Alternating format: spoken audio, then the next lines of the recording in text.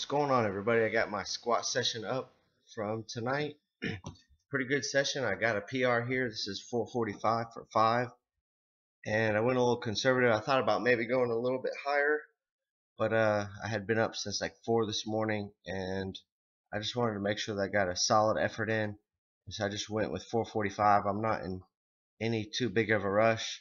So I can start increasing this little by little instead of trying to jump too far into it but uh, that is a five pound PR. My previous PR was 440 for five, and if you've seen my uh, 440 for five video, it looked a little bit harder than this one, and I feel like my depth was a little bit better on that one.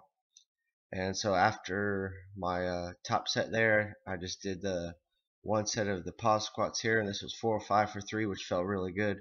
Previously, the most I've done uh, with four or five was two reps, so I'll probably start increasing that by one rep at a time until I can get a pretty solid set there.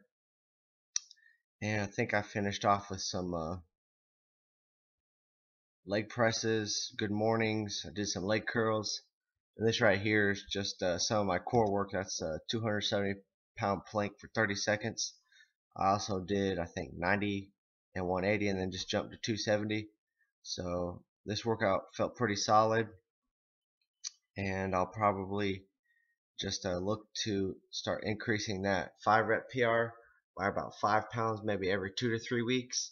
In between I'll probably be going undulating for like a 10 rep PRs or if I feel a little bit tired I might uh, take a little bit easier week off but we'll just see how it goes. As of right now everything's feeling good. But hope you liked and enjoyed. Thanks a lot.